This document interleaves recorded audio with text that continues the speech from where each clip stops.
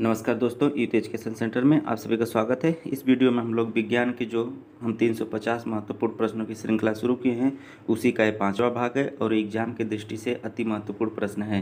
तो चलिए आइए देखते हैं। लसिका लिम्फू के लिए सत्य है। लसिका के लिए सत्य है। ऑप्शन ए है, लाल रुधिराणु उपस्थित है। ऑप्शन बी, श्वेत रुधिराणु उपस्थित है और ऑप्शन सी, दोनों और ऑप्शन डी, कोई नहीं। तो इसका सही जवाब हो जाएगा आपका ऑप्शन ऑप्शन बी, श्वेत रुधिराणु। कैसे हो जाएगा आपका? ऑप्शन बी, श्वेत रुधिराणु उपस्थित। अगला है रुधिर वर्ग की खोज करता है। रुधिर वर्ग की खोज करता है तो ऑप्शन आपका ए है कार्ल लॉर्ड स्टेनर बी है विलियम हार्वे, सी है क्रिक और डी है वाटसन। तो इसका सही जवाब हो जाएगा आपका option A, Karl Landsteiner रुधिर वर्ग के खोजकर्ता कौन है? Karl Landsteiner. अगला प्रश्न है, पेरिकार्डियम है। पेरिकार्डियम है। क्या है? ऑप्शन ए, हृदयावरण। ऑप्शन बी, फेफड़ों को सुरक्षा प्रदान करना। ऑप्शन सी, दोनों। ऑप्शन डी, कोई नहीं। तो इसका सही जवाब हो जाएगा आपका ऑप्शन ए, हृदयावरण। पेरिकार्डियम क्या है? हृदयावरण है। अगला प्रश्न है, प्रश्न नंबर चौरासी। ऊर्जा का सबसे बड़ा स्रोत है। ऑप्शन ए, जीवाश्म, ऑप्शन बी, सूर्य, ऑप्शन सी, पेट्रोल और ऑप्शन डी, डीजल। तो इसका सही जवाब हो जाएगा आपका ऑप्शन बी, सूर्य। ऊर्जा का सबसे बड़ा स्रोत क्या है? सूर्य है। अगला प्रश्न है, प्रश्न नंबर पचासी। पदार्थ की अवस्थाएँ हैं। पदार्थ की कितनी अवस्थाएँ होती हैं? पदार्थ की तीन अवस्थाएँ होती हैं। तो ऑप्शन आपका है ठोस, द्रव, गैस और सभी। तो इसमें सही जवाब हो जाएगा आपका ऑप्शन डी सभी। अगला प्रश्न है, ठोस की अवस्था की विशेषताएँ हैं, ठोस की अवस्था की विशेषताएँ हैं। ऑप्शन है आपका, इनका आयतन तथा आकार निश्चित होता है। इनके अणु अत्यंत निकट हो, निकट होते हैं और ऑप्शन सी दोनों और ऑप्शन डी इनमें से कोई नहीं। तो इसका सही जवाब हो जाएगा आपका ऑप्शन सी दोनों, क्योंकि ठो, ठोस के क्या होता है? ठोस का आकार एवं आयतन दोनों निश्चित होता है और इनके अणु पास पास होते हैं अत्यंत। अगला प्रश्न है, द्रव की अवस्था की विशेषता क्या है? द्रव की, द्रव अवस्था की विशेषता क्या है? तो ऑप्शन है, आपका ठोस की अपेक्षा अंतरा अणु का स्थान अधिक है। अणुओं के मध्य लगने वाला आकर्षण बल कम होता है। आयतन निश्चित, परंतु आकार अनिश्चित होता है और ऑप्शन डी सभी। तो इसका सही जवाब हो जाएगा आपका ऑप्शन डी सभी। द्रव में क्या होता है? इसकी अंतराणु का स्थान, अपेक्षा अंतराणु का स्थान अधिक होते हैं, अणुओं के मध्य लगने वाला आकर्षण बल कम होता है और इसका आयतन निश्चित होता है, परंतु आकार अनिश्चित होता है। अगला प्रश्न है, प्रश्न नंबर अट्ठासी। गैसीय गैस अवस्था की विशेषताएँ क्या है? तो गैस अवस्था की विशेषता आकार तथा आयतन दोनों अनिश्चित होते हैं। ऑप्शन बी है अणुओं के मध्य आकर्षण बल नहीं के बराबर है। ऑप्शन सी, दोनों और ऑप्शन डी, कोई नहीं। तो इसका सही जवाब हो जाएगा ऑप्शन सी। तो गैस क्या होता है? गैस का आकार एवं आयतन दोनों क्या होता है? अनिश्चित होता है और इसके अणु के मध्य जो आकर्षण बल है, वो नहीं के बराबर होता है। अगला प्रश्न है, प्रश्न नंबर नवासी। पदार्थों का पृथककरण की विधि है। ऑप्शन ए, निछालन, ऑप्शन बी, निस्यंदन ऑप्शन सी है निथारना तथा आसोन और ऑप्शन डी सभी।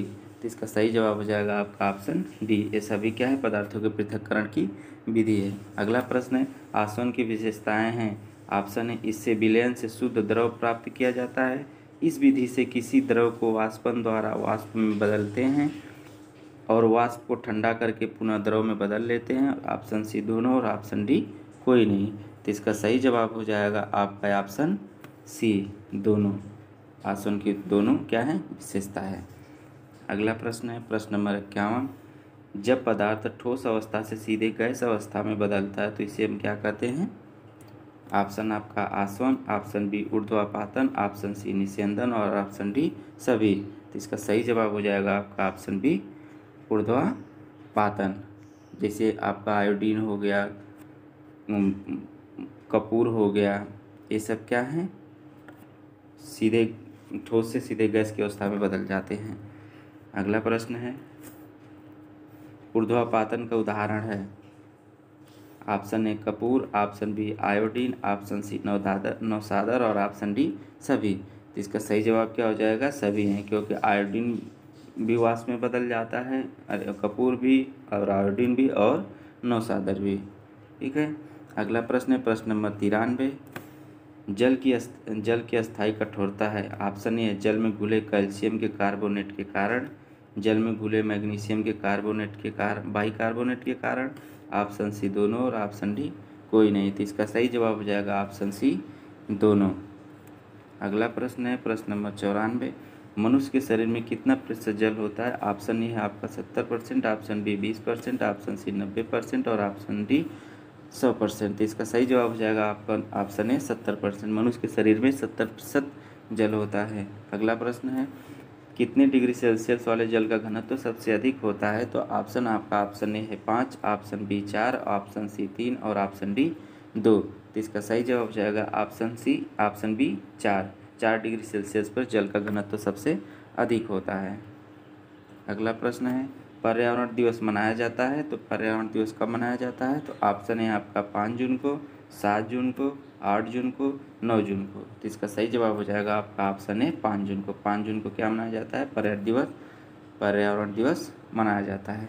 अगला प्रश्न है, प्रश्न नंबर संतानवे प्रदूषण के प्रकार हैं। ऑप्शन ए है जल प्रदूषण, ऑप्शन बी वायु प्रदूषण, ऑप्शन सी मृदा प्रदूषण और ऑप्शन डी सभी। तो इसका सही जवाब हो जाएगा ऑप्शन डी सभी। सभी क्या है? जल प्रदूषण, वायु प्रदूषण मृदा ये सभी क्या है? प्रदूषण के प्रकार हैं। अगला प्रश्न है, प्रश्न नंबर अंठानवे। मिनी माता रोग होता है। मिनी माता रोग होता है। ऑप्शन ए है आपका जल में पारे से, ऑप्शन बी जल में नाइट्रेट से, ऑप्शन सी जल में ऑक्सीजन से और ऑप्शन डी सभी। तो इसका सही जवाब हो जाएगा आपका ऑप्शन ए। जल में पारे से क्या होता है? मिनी माता रोग होता है।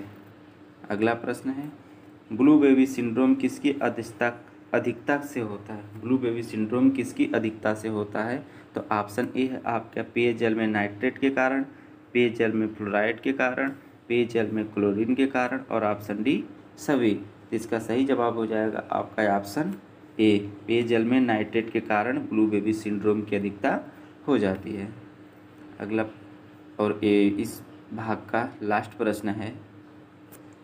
B O D B O D biological oxygen demand द्वारा होता है। बी ओ डी द्वारा होता है।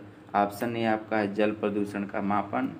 वायु ऑप्शन बी वायु प्रदूषण का मापन। ऑप्शन सी है मृदा प्रदूषण का मापन। और ऑप्शन डी है सभी। तो इसका सही जवाब हो जाएगा आपका ऑप्शन ए बीओडू द्वारा क्या करते हैं हम? जल प्रदूषण का मापन करते हैं। अगर वीडियो पसंद आया है तो चैनल को सब्सक्राइब करिएगा, वीडियो को शेयर करिएगा। धन्यवाद।